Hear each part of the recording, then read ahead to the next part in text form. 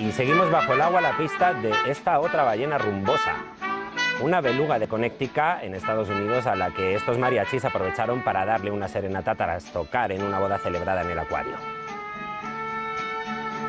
Juno, que es el nombre de la beluga, no baila porque sea una fan de la música mexicana. Sus cuidadores afirman que aunque percibe ciertas vibraciones de la música, en realidad responde con balanceos a las señales de los brazos de los músicos.